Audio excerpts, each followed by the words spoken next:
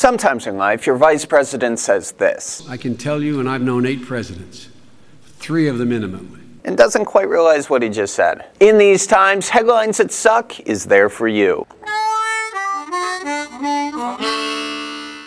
Joe Biden, I've known eight presidents, three of them intimately. Well, at least that gives context to this quote.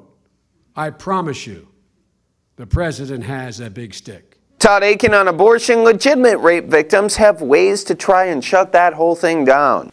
The same effect politics has had on Todd Akin's brain. Kentucky rancher feeds candy to cows during drought. Jolly ranchers make for jolly cows. CBS radio chief exec, sorry, radio is far from dead. Well, there's someone with an unbiased view. Mike Huckabee finds silver lining, says rape can result in some extraordinary people. And consensual sex can result in Mike Huckabee. It's a cruel world. Syphilis outbreak prompts porn shutdown. The last film released before the shutdown.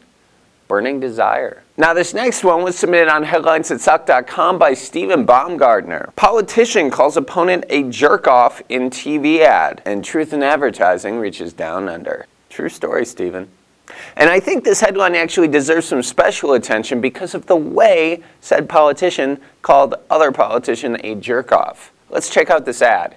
See if you can pick it out. Oh, from top to bottom, Hendo is a jerk off.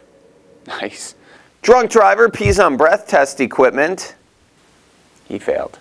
Burglars carrying Pomeranians, Sweet Bellevue. These two are wanted for questioning. So that's it for this week. Now, if you see a headline that sucks in the next week, put it in the comments below or submit it at headlinesthatsuck.com. And actually, next week we're going to be in Tampa Bay for the Republican National Convention.